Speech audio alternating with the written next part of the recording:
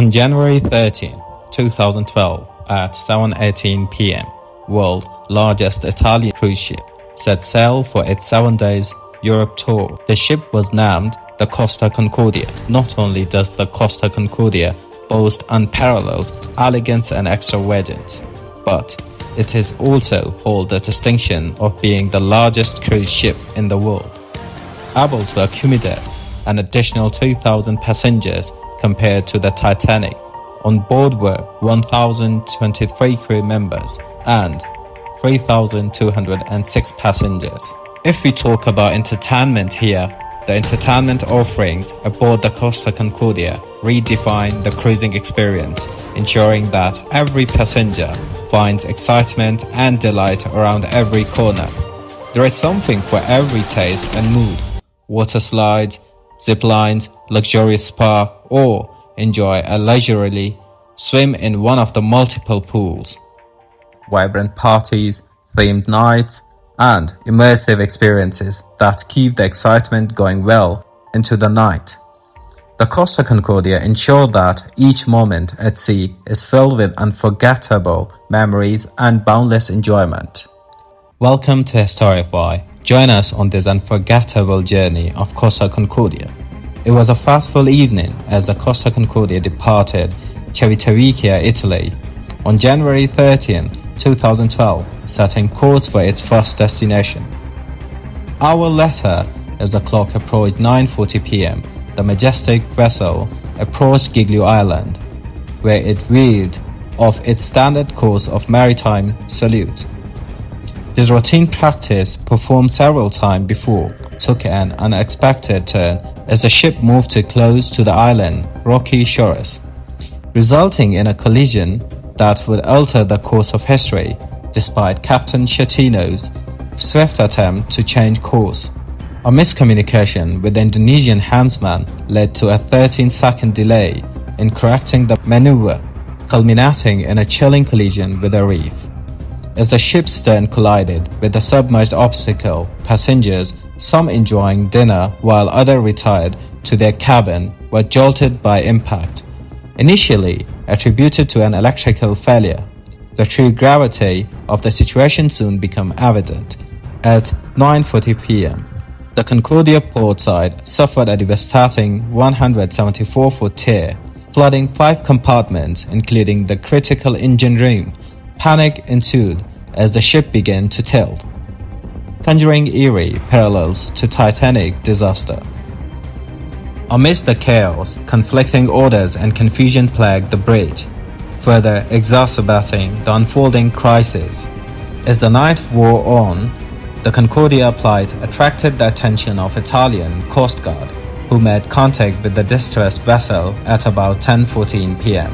However, Captain Schettino initial report downplayed the severity of the situation, citing only blackout. It wasn't until 10.39 pm that the first rescue vessel arrived, with Schettino finally ordering the abandonment of the ship, though some lifeboat had already been launched. By 11.20 pm, as the Concordia list worsened and the situation grew increasingly dire, Schettino left the bridge, later claiming to have fallen into a lifeboat. By midnight, on January 14, as the Concordia fought hung in the balance, the valiant effort of rescue crews and the resilience of passengers would be put to the ultimate test, marking a tragic chapter in maritime history. The clock ticked past midnight amidst the chaos and confusion aboard the stricken Costa Concordia. A ray of hope emerged.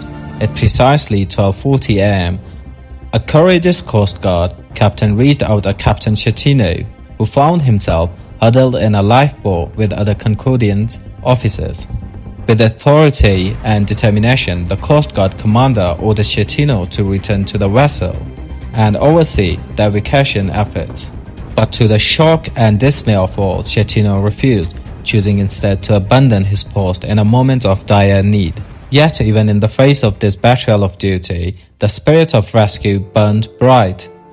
By this time, a vast armada of rescue vessels had converged on the scene with 25 patrol boats, 14 merchant vessels, and countless helicopter joining forces in desperate bid to save lives.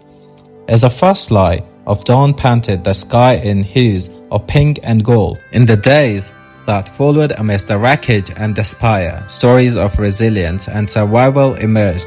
On January 14th, as the sun rose once more over the troubled water, they were plunged into the depth of the Concordia's hull, their brave efforts yielding miraculous results. Three more survivors were pulled from the darkness within, their tales of endurance a testament to the strength of the human spirit. 32 lives were lost in the disaster, their memories forever etched into the fabric of history. As the search of closure continued, the grim task of recovery persisted. It was not until November 2014 that the lost body was recovered from the depths, bringing solemn conclusion to a tragedy that had shaken the world to its core. Aftermath of Costa Concordia disaster, the legal saga unfolded with a complexity befitting a courtroom drama. Questions swirled around Captain Schettino and his crew members, their actions synchronized under the harsh light of justice. In a courtroom scene, reminiscent of a gripping thriller, four crew members in Costa Concordia crisis coordinator faced charges of manslaughter. Their guilt sealed with sentences of less than three years. Meanwhile, Schettino himself stood at the center of storm of accusation, facing charges ranging from manslaughtering to abandoning ship. As the trial unfolded over grueling 19 months, prosecutor painted Schettino as an idiot, while the captain adamantly defended his action as a life-saving, what he deemed as scapegoating. Despite Schettino's attempts to shift blame, the verdict ultimately fell against him in February 2015, sentencing him to over 16 years behind bars. Despite appeal, the verdict stood and Schettino commenced his sentence in May 2017, a chapter of the tragic tale drawn to a close within the Hollywood halls of justice.